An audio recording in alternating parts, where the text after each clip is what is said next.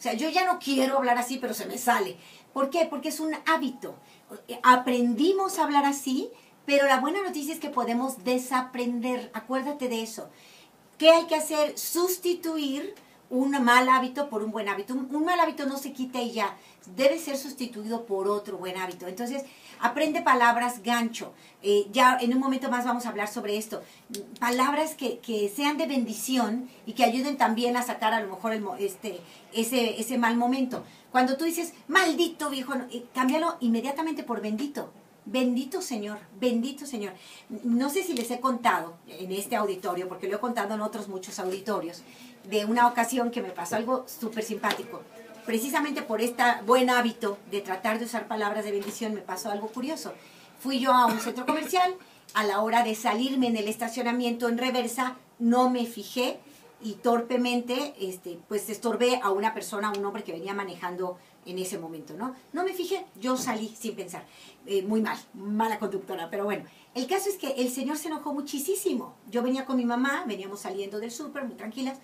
Él se enojó muchísimo, entonces yo me frené así rápido, el otro se frenó de, así fuerte, y entonces se enojó tanto que se puso al lado de mí para insultarme. Hija de, ¿por qué así son las mujeres? Hija de... Bueno, me insultó y yo bajé mi vidrio y con educación, según yo, puse mi mano como tranquilizando y le dije, tranquilo, relájate, tranquilo, tranquilo. Y me dijo, no, que relájese usted, que no sé qué. Y me empezó a insultar más. Y entonces yo ya, como vi que de plano no había manera de, hacerle ver o de pedirle perdón o de, tener un trato con él, solo le, le dije fuerte, le grité, Señor, que Dios lo bendiga. Y entonces él me contestó, así con una señal de mentando mamás, ¿no? Me contesta, que Dios la bendiga a usted, no sé qué, vieja, no sé qué, pero me dijo que Dios la bendiga, es decir, él me reviró lo que yo le mandé, ¿no? Por fortuna yo le había mandado una bendición y me dio mucha risa, mi mamá y yo nos moríamos de risa que el Señor, enojado y todo, pero nos bendijo. ¿Por qué? Pues porque la verdad es que sí atraemos lo que damos, esa es la pura verdad. Dicen que una palabra agresiva atrae tres hacia ti, tres agresiones hacia ti.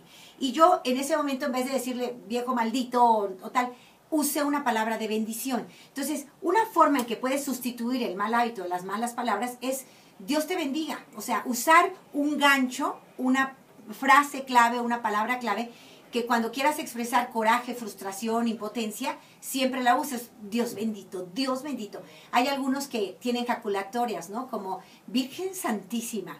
O traer una jaculatoria especialmente espiritual te va a ayudar mucho. En lugar de decir hijo de tu tal por cual, decir Virgen Santísima. Virgen Santísima y contener esa emoción negativa que te estaba normalmente haciendo decir una grosería. Estos se llaman ganchos, palabra gancho. Ten tus palabras gancho, que pueden ser pequeñas jaculatorias, como esto de Virgen Santísima, o Madre mía, asísteme, o este, Dios te bendiga. O sea, que, que cuando algo no salga bien, tú dices, Señor, te lo ofrezco, es para ti Jesús, tómalo tú, ¿no? Y usa esto como gancho en lugar de usar la palabra de maldición. O mi mamá acostumbró, nos acostumbró a, decirnos a nosotros mismos, antes que decir una grosería, muérdete la lengua.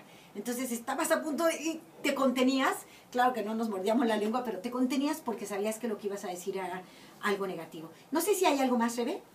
Eh, Vero García, Cintia Cruz, Isabel Jerez. Hay también otro comentario. Precisamente, mi esposo trata con muchas malas palabras a mis hijos. Yo no le he expresado que me molesta, pero a veces cuando ellos ya le contestan de la misma forma, él se molesta. Miren, claro, claro, hay que decirle, esto que estamos diciendo y haciendo, nuestros hijos lo van a aprender y nos lo van a revirar segurito. Hay un, hay un video en YouTube que se los recomiendo cuando quieren hablar con el esposo o con la esposa. Oye, hay que bajarle a las groserías. Es más, en campaña, hagan campaña familiar. A ver, en esta casa vamos a dejar de decir palabras de maldición y vamos a usar palabras de bendición. Las groserías, las majaderías humillan, maldicen y tienen un efecto real en nuestras neuronas que nos llevan a una actitud pesimista y desesperada. Entonces, no nos conviene porque traemos un mal ambiente en la casa. En cambio, las palabras de bendición, neurológicamente comprobado, nos van a traer un ambiente de serenidad y optimismo a nuestra mente y después a nuestro corazón y nuestras acciones.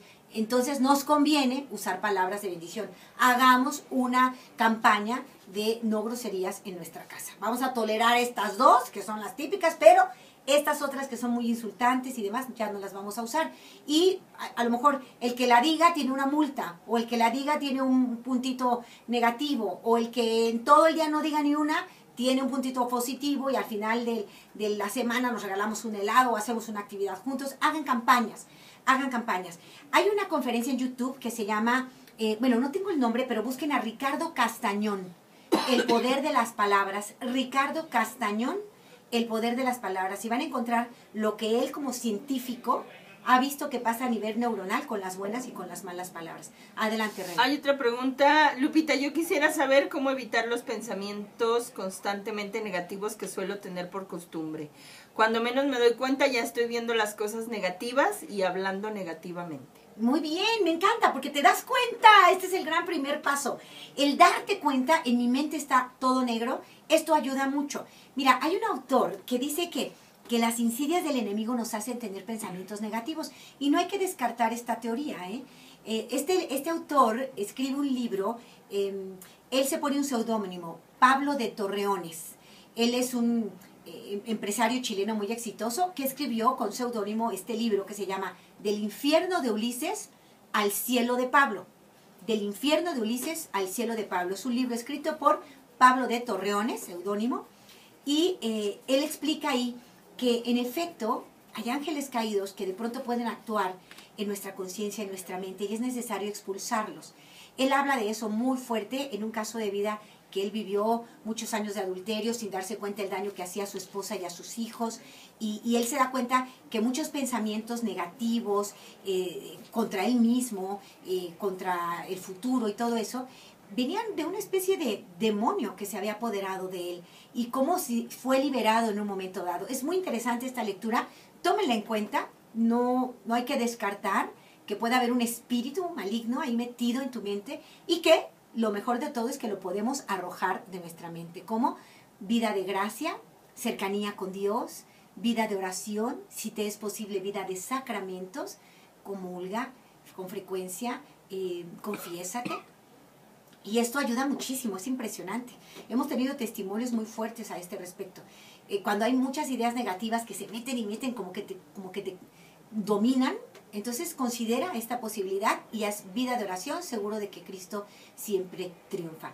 Ahora, por otro lado, también pueden ser los malos hábitos de pensamiento que fuiste desarrollando a lo largo de toda tu vida y los malos hábitos se sustituyen con buenos hábitos.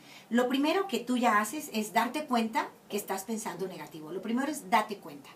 Lo segundo es corta el crecimiento de ese pensamiento. Di, ya no quiero tener estos pensamientos. No me interesan. Yo gobierno. En mi mente está lo que yo digo, no lo que se mete. Entraste pensamiento, pero te vas ahorita. O sea, háblale al pensamiento y dile, no quiero pensamientos negativos. Y mete pensamientos positivos. ¿Qué son pensamientos positivos? Tu presente, tu aquí y ahora. ¿Cómo voy a amar hoy? Y levántate cada mañana diciendo, hoy tengo un día para amar. Hoy tengo una oportunidad para amar y pregúntale a Dios, Señor, ¿a quién quieres que ame hoy? A los que me encuentren en el camino les voy a amar. Hoy puse una tarea en mi Facebook, puso, pongo a veces eh, propósitos del día. Trato de hacerlo todos los días, pero de repente se me va. Pero hoy puse como propósito, sonreiré a todo aquel que se cruce conmigo. Hoy sonreiré a todo aquel. Entonces ya tengo presente que voy a sonreír y, a lo largo del día traigo esta eh, emoción, o esta tendencia. Y si de pronto llegan pensamientos negativos y estoy eh, medio perrucha y enojada, entonces yo, a ver Señor, hoy prometí sonreír. Este pensamiento negativo no me va a dominar, yo domino. Yo soy dueña y señora de mí misma, de mi mente, de mis pensamientos. Yo domino y yo ordeno este pensamiento que se vaya. Y voy a pensar en mi día de hoy, que voy a amar. ¿Qué tengo enfrente? Tengo a Rebe enfrente. Pues la voy a amar, le voy a tener un detallito. Tengo a mi equipo, Lupita, eh, Odi. Pues yo quiero tener detalles bonitos con ellos. Y me concentro en el presente, en lugar de estar pensando como cargando un costal de piedras, pesadísimo, de lo que me hicieron, de lo que eh, recuerdo y demás. Tengo este pensamiento negativo, en este momento te corro de mi mente pensamiento negativo. Yo quiero hacer el bien en el momento presente, yo quiero pensar en mi futuro. Entonces, bueno, esto y más vamos a seguir analizando hoy cómo mejorar el clima en casa con palabras